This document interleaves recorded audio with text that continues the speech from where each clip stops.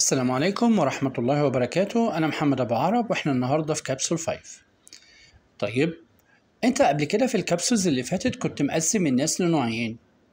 ناس تعبانين عندهم سكر ما بيحبوش الحاجة المسكرة فكان هم آي ووي ويو وزي كان بيجي بعديهم الحاجة الدلعة وناس ما عندهمش سكر بيعشقوا حاجة اسمها سكر كان هي وشي وإت النهاردة جه الدور جه الدور معايا على ناس أو صنف تالت بيحبوا الحاجة المملحة خالص اللي هي مملحة بقى وفيها شطة وفيها توابل. مين اللي بيحب الشطة؟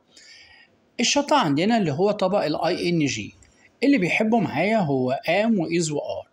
يبقى محدش بيحب في الأكل بتاعه شطة إلا am و is و are.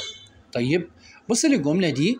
I drink ولا drinks ولا drinking tea طب هل الجملة دي فيها الولد am؟ فيها is فيها are؟ لا يبقى ال ing بره. طيب هبدأ بعد كده أفرق عندي ما بين ال infinitive وال s مين اللي بيحب ال infinitive هو ال I طيب بعد كده عندي الولد am رجع تاني أهو. ال am ده بيحب الشطة. فين طبق الشطة؟ اللي هو في ing حتى بص كده هتلاقيه أكبر طبق. ليه؟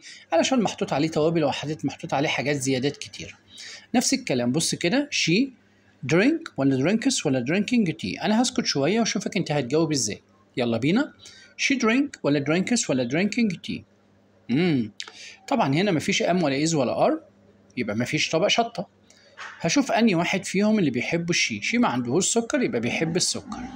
نفس الكلام هنا أدي she معاها is يبقى is اللي هو بيحب الشطة هياخد ال ing طبعا ممكن يجي لي في ال exam كده يجي يقول لي they are helping mom استخدم he حاضر. يبقى أنا هنا هنزل هي مكان زي طب هي ما بيحبش are هينزل بدله مين؟ is. وهكمل جملتي. وطبعا هنا الراجل مدي لك شوية notes زي إن مثلا آم بتحب آي وإز بتحب هي وشي وات وآر بتحب وي وي وزي. وأنا هنا هقول لك إن are برضه بتحب ال plural و is بيحب ال singular اللي هو المفرد. أتمنى إن أنا أكون فدتك. أتمنى إن أنت تكون مركز معايا في الحاجات دي علشان هتيجي في الإكزام إن شاء الله.